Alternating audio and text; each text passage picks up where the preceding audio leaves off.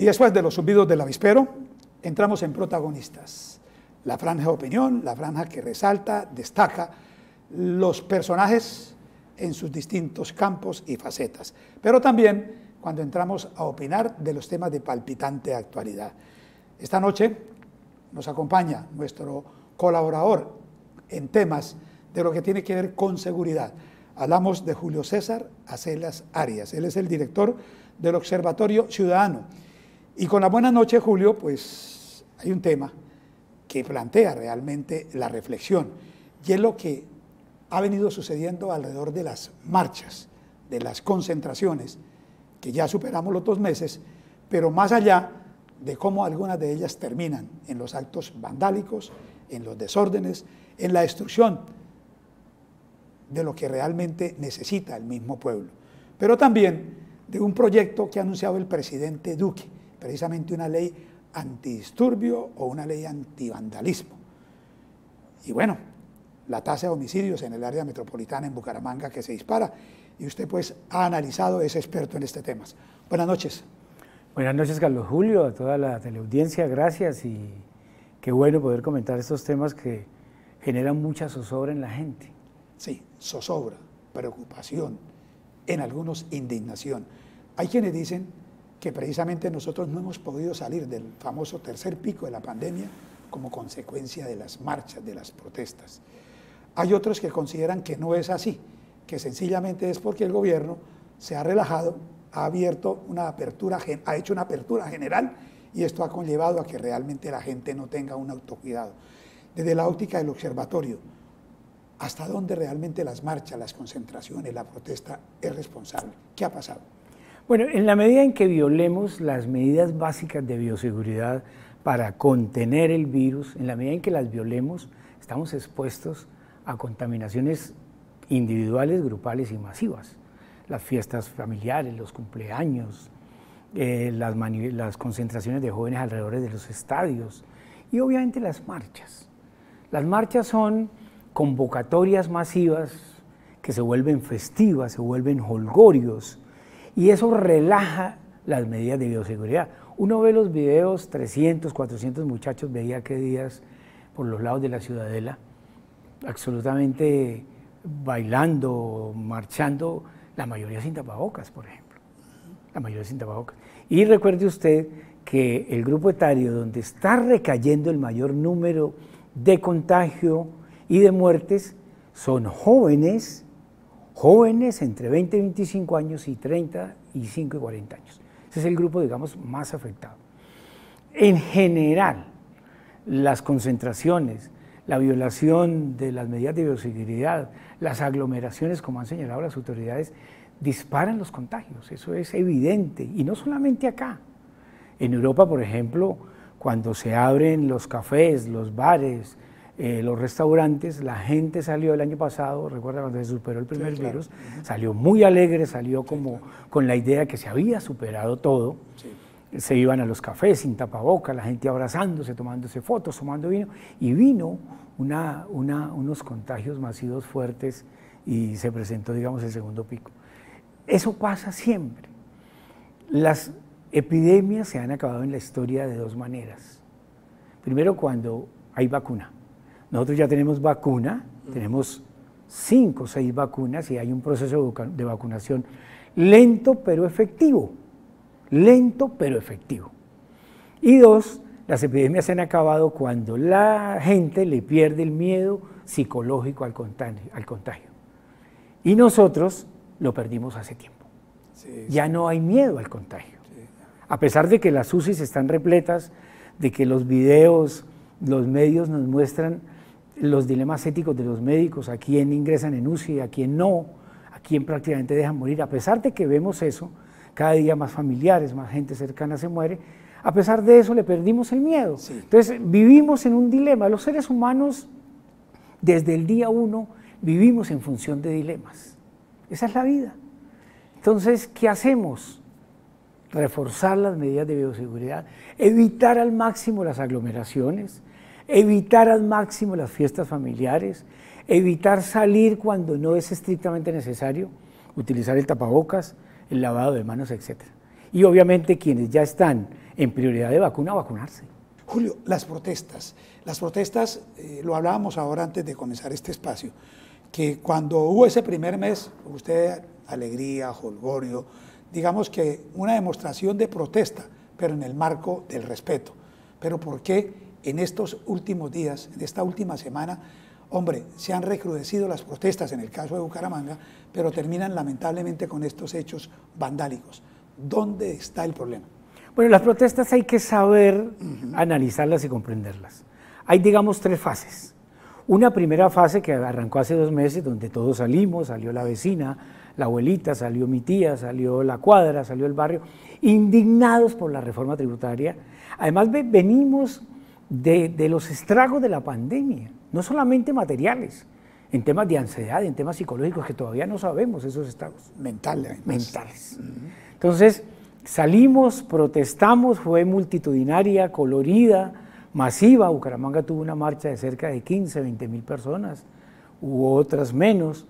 Esa es una primera fase pacífica, constructiva, lo que debe ser un país con movilizaciones de ese tipo indica madurez democrática. Y tienen que estimularse y tienen que ser permanentes. Y el Estado y las autoridades tienen que garantizar ese tipo de protestas.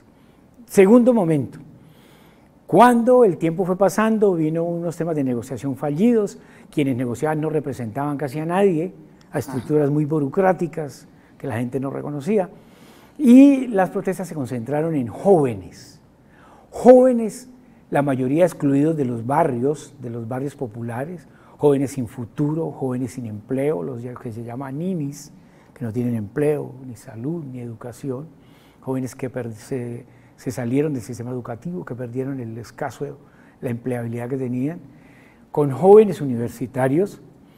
Entonces, el segundo momento fue movilizaciones masivas de jóvenes, jóvenes indignados con justa razón.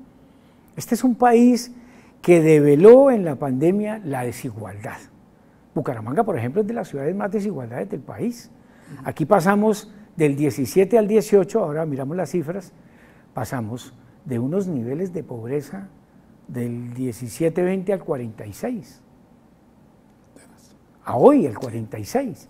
Entonces, jóvenes excluidos de los barrios que en algunas ocasiones, segundo momento, tercer momento, degeneraron en grupos minúsculos de protestantes violentos, anarquistas, muchos de ellos delincuentes, cuya razón de ser es la destrucción la violencia, destruir la policía, destruir el Estado, los bienes públicos, los bienes privados, los cajeros. Eh, hace unos días destruyeron una, entidad médica. Todo lo de salud. Y ese tercer momento se tornó violento, una violencia ciega, destruir por destruir. Son muchachos que al final de las protestas de los jóvenes, eh, las protestas de los jóvenes arrancaban 800 mil cuando venía la confrontación con la policía, quedaban 400, 500, y al final quedaban 50, 70 muchachos ideológicos que militan en organizaciones, eh, digamos, organizaciones juveniles anarquistas, camilistas, algunos milicianos del ELN, de las disidencias de la FARC, muchachos también vinculados con inmigrantes, muchachos desclasados de los barrios, vinculados con algunas redes de tráfico, etc. Esos muchachos que no ven otra razón que la violencia, terminaron protagonizando que son los mismos el último momento de las protestas y que genera indignación ciudadana. Eso no puede permitirse. Las autoridades tienen que judicializarlos, identificarlos y llevarlos a las autoridades. Julio, ahí podríamos decir que de cierto modo ha faltado como mano dura por parte de las autoridades. Hay, hay, una, hay un coro generalizado al menos en Bucaramanga, bueno, que, no es distinto del país, donde le dicen al alcalde, alcalde, ¿qué pasó? Policía, ¿qué pasó? Porque de la manera más impune y más fácil, 30, 40 muchachos van y queman. Se toman una y son los mismos. paralizan la movilidad y terminan afectando los derechos de los demás, terminan ejerciendo violencia contra el pueblo que dicen defender. Entonces ahí hay, digamos, una laxitud de las autoridades uno tiene que entender las autoridades porque primero el marco legal para asumir, digamos, los conflictos juveniles es muy laxo en Colombia. Segundo, hay, hay, hay una espada de Damocles, hay una espada de Damocles en la autoridad por el tema de violación de derechos humanos, que es evidente y que de alguna manera está justificado. ¿Por qué? ¿Por qué? Porque la fuerza pública se ha sobrepasado en el uso indiscriminado de la fuerza. La fuerza debe ser proporcional y debe tener un cierto nivel de letalidad. Pero la policía se ha demostrado en las protestas que se ha sobrepasado. Ha hecho asonadas, ha, ha utilizado armas que no son las apropiadas, ha violentado, ha, cogido agarros de muchachos, ha hecho detenciones ilegales. O sea, hay un uso desproporcionado de la fuerza. Y eso ha implicado primero una indignación ciudadana de los organismos de control de Estados Unidos, de la opinión pública, de los medios de comunicación nacional e internacional, y obviamente eso ha generado que la fuerza pública y la policía de alguna manera se mantenga cauta.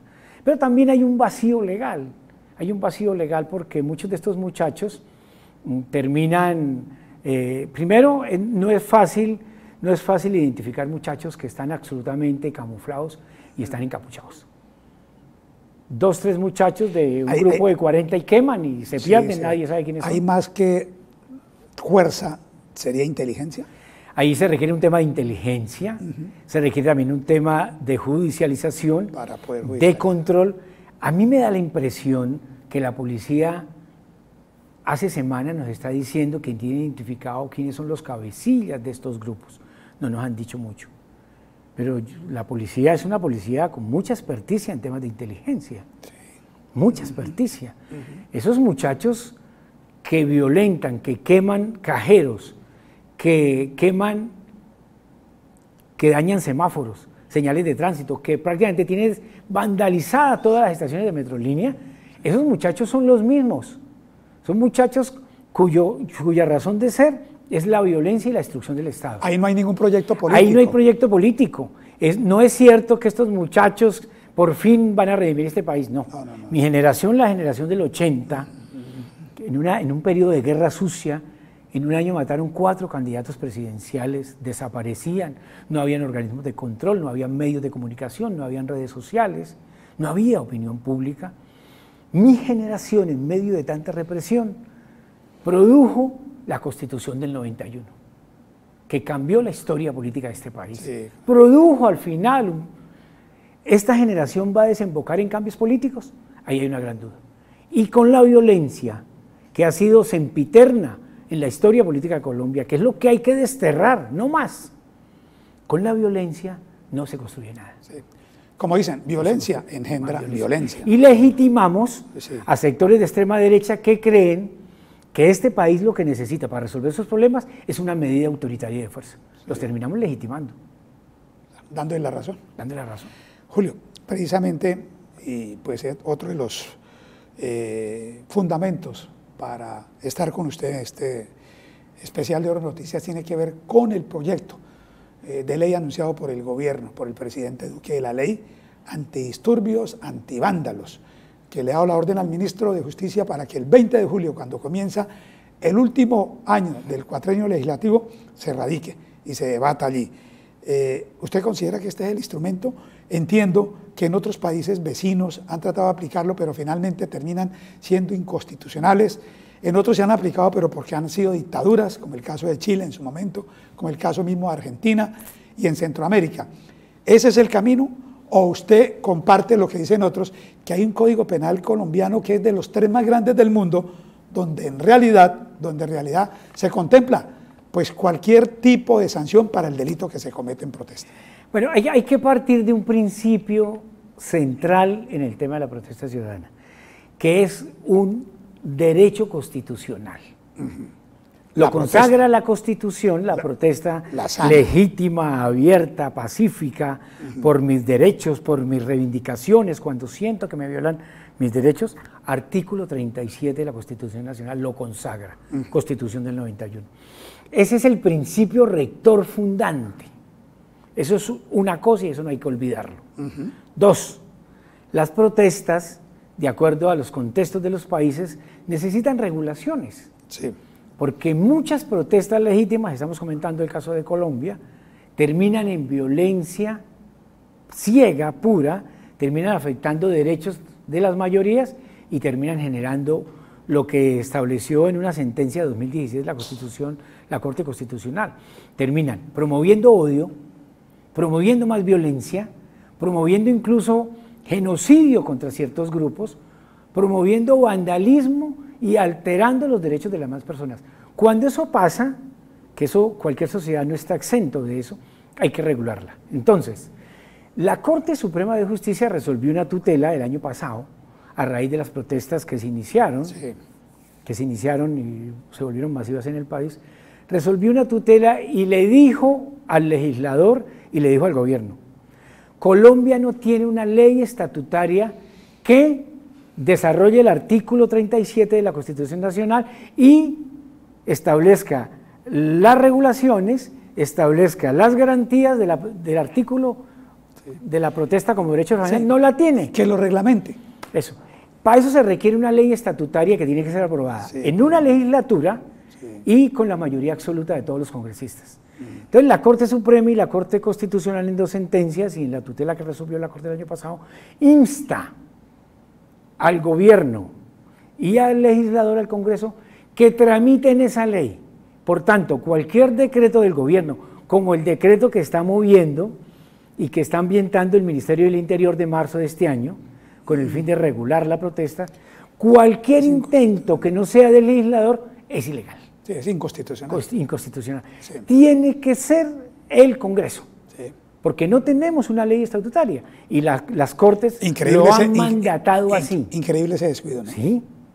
Colombia, la Constitución del 91, más de la mitad de los artículos están sin reglamentar. Y por el contrario, ha tenido cerca, arriba de 50 reformas muchas de ellas regresivas. Sí. Ese es el vacío jurídico que hay en este país. O sea, nos volvimos a la Constitución del 86. Y aquí, recuerde usted, Carlos Julio, que la ley llega después. Llega después que los conflictos sociales, que las movilizaciones sociales, que la vida social tan compleja, que los hechos en la calle, que los conflictos. Eso pasa primero y la ley llega después tratando de manera punitiva regularla, ¿no? En Colombia tenemos esa tradición. Y también hizo carrera el populismo punitivo, ¿no? Que frente a cualquier desafuero social, frente a, cualquier tragedia, a un asesinato de un niño, ya sacamos el eh, recurso de la ley. Entonces, en Colombia la realidad social está pidiendo una regulación de la ley, porque hay un fenómeno.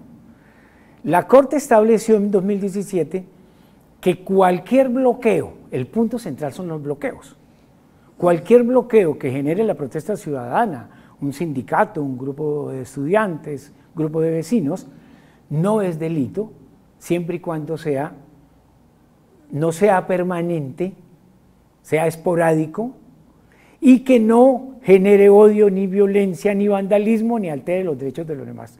En esa medida no es ilegal, pero si pasa un bloqueo, se vuelve permanente, terminan cobrándole peaje a los coches, a la gente, terminan alterando la movilidad por días, como ocurrió en varios portales de Transmilenio en Bogotá, terminan alterando el comercio, la gente no puede abrir los comercios, es ilegal.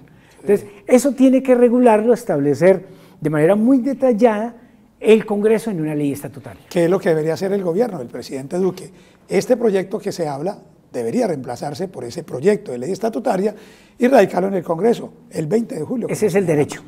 O sea, es el camino a seguir. Totalmente. Porque lo que se dice además, Julio, hay un código muy generoso, muy grande, un código penal nuestro, que tiene todo, tipifica todos los delitos. Sencillamente, como usted lo señala, no se aplica y las leyes terminan siendo, con todo el respeto, un saludo a la bandera. El Código Penal tipifica como, tipifica como delito los bloqueos, la obstrucción de vías. El mismo secuestro. Pero al final, un bus.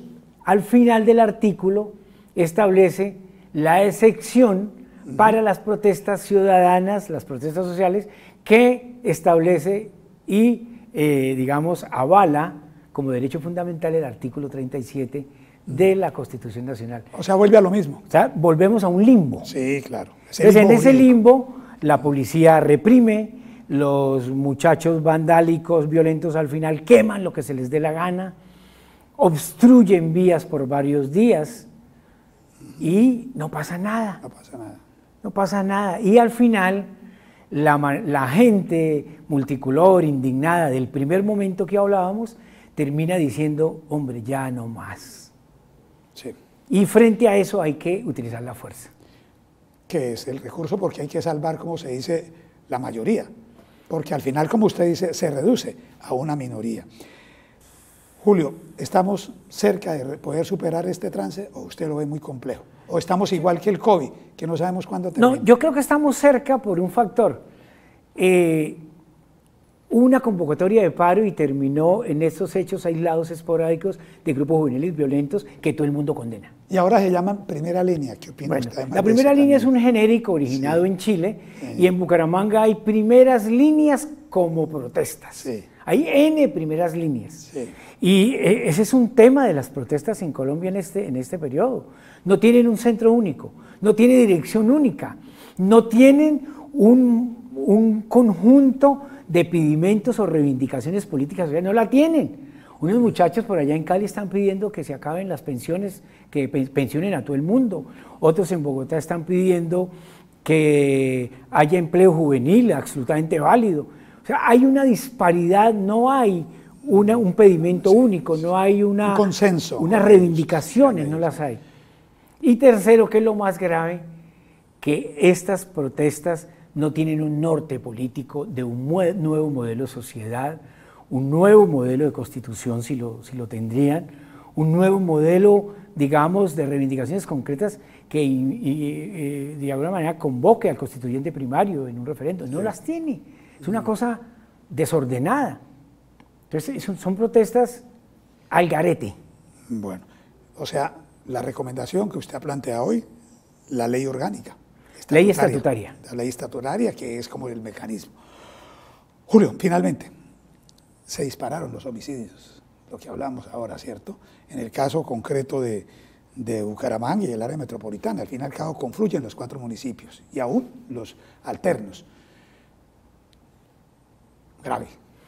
Bueno, eh, nosotros hemos venido advirtiendo que desde el 2015, digamos, hay una disminución leve de los, de los homicidios y que en el 2018 se corta esa tendencia y se dispara. A hoy.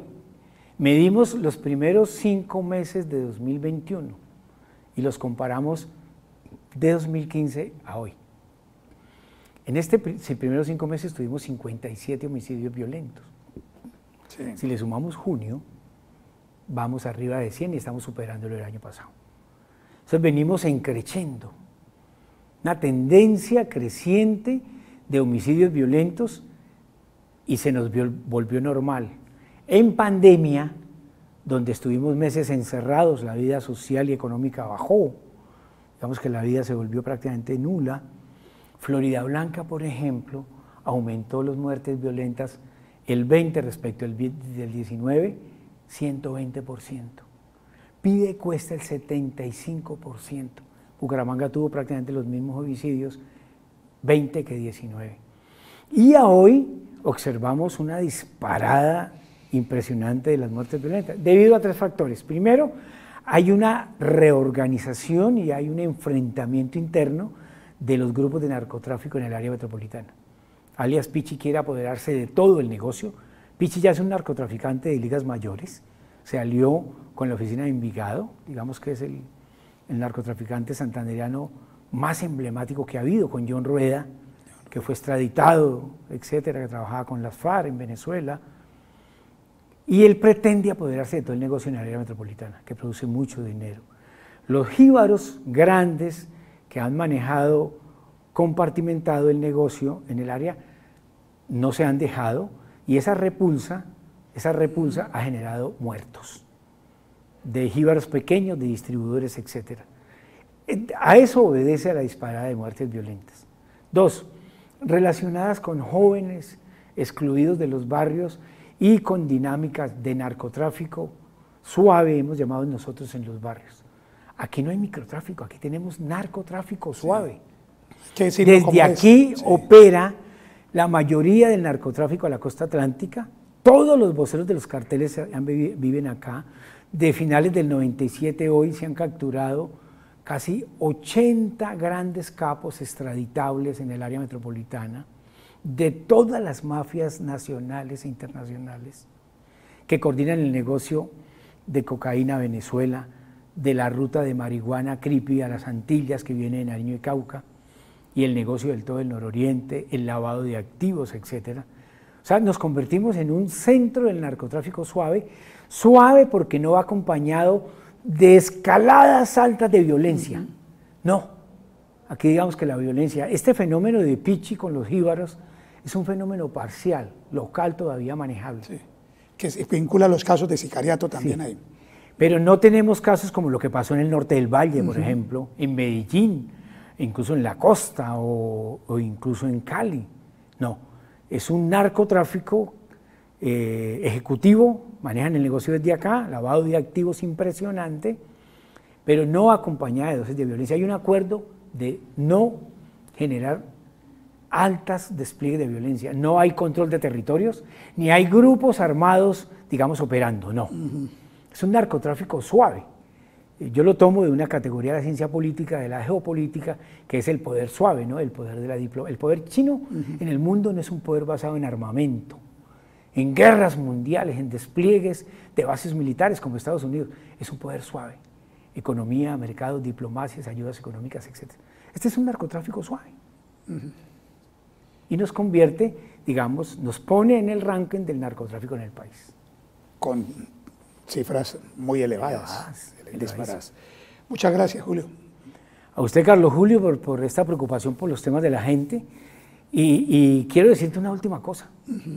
Lo que preocupa es la respuesta de las autoridades. Ah, para allá iba. Todos esos muchachos de las barriadas populares están pidiendo algo. Hay exclusión, hay hambre, no hay empleo. Bucaramanga tiene de dos, o mejor, casi la mitad de los habitantes de Bucaramanga 46%, están en la pobreza monetaria. Es decir, cada persona recibe 137 mil pesos per cápita. Casi la mitad de los bumangueses están en la pobreza monetaria después de la pandemia y después de lo que todo pasado. Llegamos a estar en el 9%. La mayoría son muchachos. La, la respuesta de la institucionalidad ha sido etérea, ha sido evasiva. Debería haberse diseñado una estrategia agresiva como se hizo en Medellín y en Cali, de atender las necesidades estructurales de empleabilidad, inserción laboral, reconocimiento político, sociocultural, simbólico de estas muchachos barriadas, de las barriadas populares, incluirlos a la ciudad. Esos muchachos que llegaron a apedrear Caracolí y Cabecera nunca habían ido a Cabecera, no conocían Cabecera. Y en Bucaramanga hay muchos jóvenes de las barriadas que mueren a los 20 años sin conocer Cañaveral. Carlos Julio, ojalá me equivoque. Ojalá me equivoque y quiero equivocarme. La próxima vez que esos muchachos vuelvan a llenarse de indignidad porque no se resolvió nada, van a incendiar la ciudad. No van a incendiar los semáforos, van a incendiar la alcaldía, la gobernación, los centros comerciales y se va a generar un caos generalizado. Ojalá no ocurra. Julio, César Aceras Arias, nuestro invitado esta noche, en Protagonistas, director del Observatorio Ciudadano de Santander, con un tema pues, que ustedes han podido en este tiempo analizar, ustedes igualmente sacar sus opiniones sobre el desarrollo de la protesta, hacia dónde vamos, las recomendaciones que hace nuestro invitado sobre el tema mismo, inseguridad, y también el tema de la vinculación de los jóvenes, no seguir siendo excluyentes, porque las consecuencias, como les ha planteado, que ojalá no lleguen a ser así, pueden ser muy funestas para nuestra ciudad la invitación para que mañana nos acompañen en punto a las 7 y 30 de la noche. Feliz descanso.